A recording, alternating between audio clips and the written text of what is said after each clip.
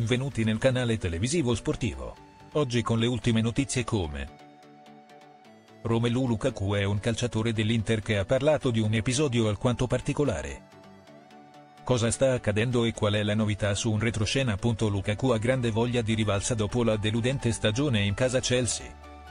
L'attaccante belga è motivato e lascia trasparire un messaggio inedito su una questione che sta molto a cuore anche dei tifosi.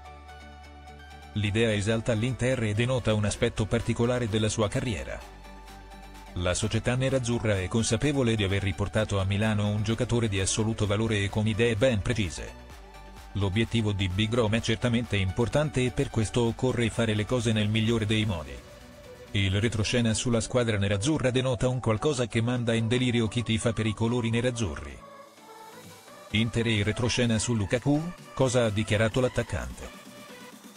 Romelu Lukaku ha rilasciato una lunga intervista ai microfoni di Dazon per parlare di quanto sta accadendo appena arrivato all'Inter. Il messaggio riguarda anche due calciatori come Marcelo Brozovic e Nicolo Barella, entrambi compagni di squadra nella formazione allenata da Simone Inzaghi.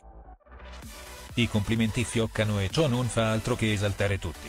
Brazo è diventato ancora più leader e più aperto nella comunicazione rispetto a prima, si lamenta tanto. Barella è ancora più protagonista in campo, ha fatto più assist l'anno scorso, aver vinto anche Coppa Italia, Supercoppa e l'Europeo lo ha reso più forte, ha spiegato Lukaku.